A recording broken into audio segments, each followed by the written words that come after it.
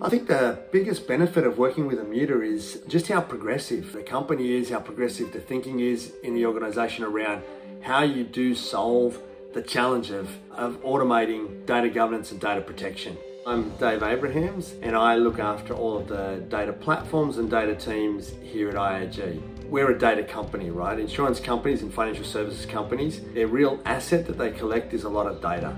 A lot of information about customers and who they are, and a lot of information about the assets that they value and want to protect. With the sheer complexity that we have with so many data sharing agreements, all written in different times and from different perspectives. You know, it's very complex for us to handle that from a manual human process perspective, which was very time consuming, very expensive. When we looked at lots of different companies, the one that stood out the most for us and the one that kind of solved this problem the best was Immuta.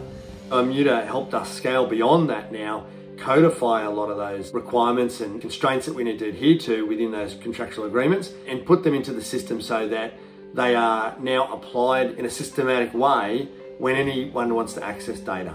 The platform was easy to get uh, installed and set up in, in our environments, which was great. But not only that, one of the big advantages that really helped us was when we needed to connect to some different types of data sources, Immuta have been pretty responsive around that. I definitely recommend Immuta as a great platform for really helping a lot of organizations get a better handle on their data governance, data management processes, and really automate a lot of the manual challenges that you have today.